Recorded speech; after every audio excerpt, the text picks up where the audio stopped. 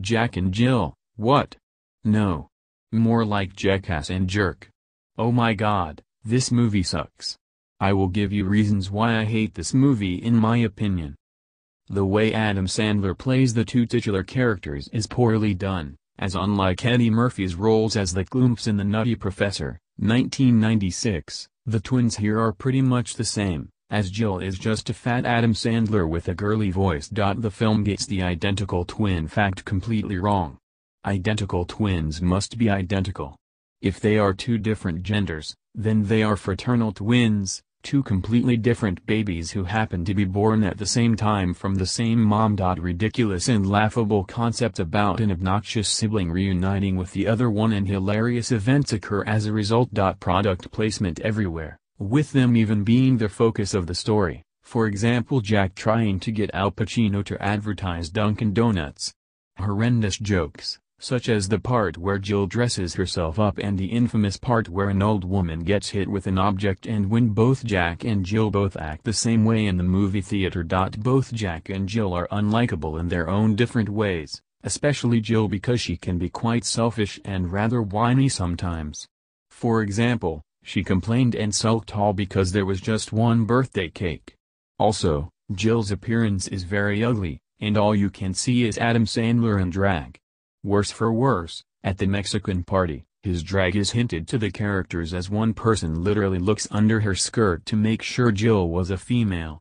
If she was actually gorgeous then maybe everybody would believe she's a woman. Terrible acting, save for Al Pacino, who is considered to be one of the best parts of the film. Lots of pointless celebrity cameos featuring Drew Carey, Johnny Depp, Christie Brinkley, Vince Offer, etc. It also features a cameo from Jared Fogle, which did not age well because of the you-know-what. Jill's voice is ear-piercing and annoying. Sandler previously used the voice for a 1996 audio sketch called Do It For Mama, which works better that way. Cringeworthy dialogue. In fact, the most infamous quote is when Jill said she needed to make chocolate squirties, and the worst thing of all is that Jack and Darren were eating chocolate pudding or soup, well whatever it was, it's still chocolate. Thanks for grossing everyone out. The Dunkachino isn't a product made up for the movie, by the way. It's an actual product you can buy.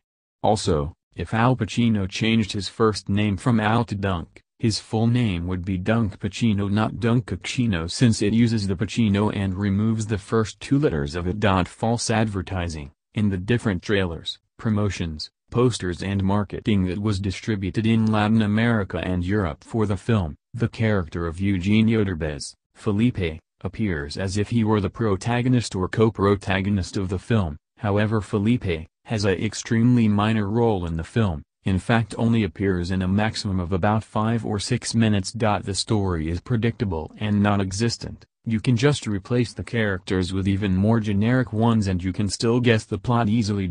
Poor editing where a lot of scenes come out of nowhere such as the Dunkachino scene. The Thanksgiving dinner scene would make sense if it took place at the end of the film instead since it felt like it was added at the last minute. Felipe's grandmother, Joangelina, who was also played by Eugenio Derbez looks way too horrible.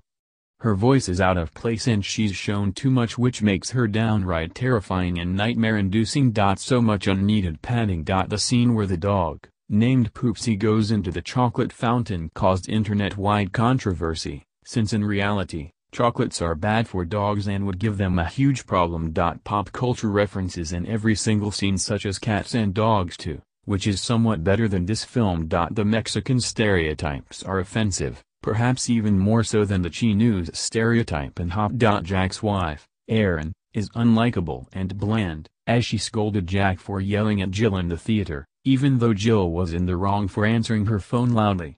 And that's how the movie is. Thank God I never watched that movie and I never will, or else it would waste my time.